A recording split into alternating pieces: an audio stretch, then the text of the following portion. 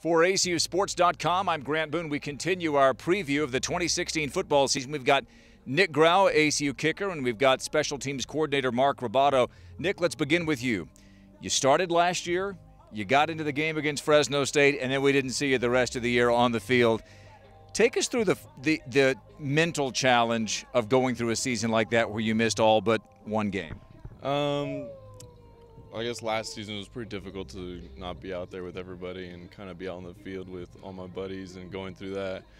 Um, I had the surgery and it came back. Um, it's been kind of slowly working back into kicking, and uh, it's kind of hard to come back after a year of being out, but it's slowly coming back. And so we're just taking it slow reps, keeping it low, making sure we're taking our time with this so that it'll last throughout the season. The plan would be, though, for you to be ready for the Air Force game? Yes, sir. Which has been more difficult, getting back into the physical swing of things or mentally? Um, I think it's a little bit of both because after a year of kind of just sitting around not being able to touch a football, you kind of start losing your groove, your kind of your rhythm. Um, physically, it's kind of been a challenge in getting dropping my weight from after surgery, uh, getting my hips uh, moved in uh, back into motion. A lot of my muscles are really tight, but it's just something that's just slow progress and moving through it. And the plan would be kickoffs and field goals, or just field goals? I believe I'm just going to be doing field goals this season. All right. Well, we're glad to have you back. Let's talk to your coach here. Uh, coach, we found out last year you just don't go and replace a guy like Nik Grau very easily, do you? Not very easy to replace Nik Grau. He was an 80% field goal guy, and that's the that's the gold standard in college football. And he was a point getter, you know, uh, generated a lot of points for us, and really reliable, and just a good kicker. Well, and also I know it. We've talked with Coach Collins about this. It changes his strategies. He makes decisions about whether or not to go for first downs uh, as he gets on the other side of the field. You do have someone to back Nik up if Nik, uh, let's say, has a moment or two where he can't go. Right. Right. His name's Brendan Kahn. He's a transfer from Texas Tech. He played at Arlington High School. Uh, he's a really, really good kicker.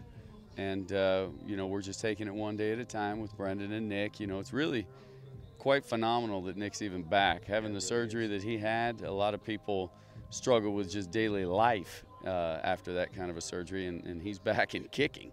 And he's not kicking very bad at all, but we're just going to take it slow with him because you know, we want to bring him along the right way and not injure that back again. You also have a veteran uh, back there, uh, 15 yards back, kicking the ball away on the punting unit, right? And Austin Kilcullen, expecting a big year from Austin. Oh yeah, Austin's got a huge leg. You know, when he gets a hold of one, that baby just travels, and uh, he's working on his rugby punts.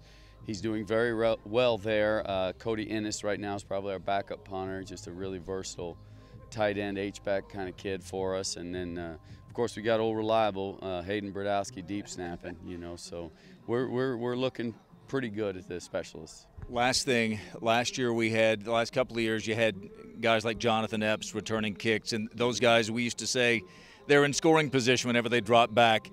Byron Proctor returned some punts and some kicks for you last year. Who would be the, the kick returners, punts and kickoffs for you this year? Well, we've got a young man, Mr. Miller, uh, one of our receivers, very good. Justin Miller, uh, uh, Mr. Fuller, transfer. Uh, receivers looking very good. Uh, Carl, Big Carl, our wide receivers looking very good. It's a real toss-up. We've got some skilled people that, that can take the ball and go 80 with it. So we're, we're just going to see who can uh, who who rises to the top.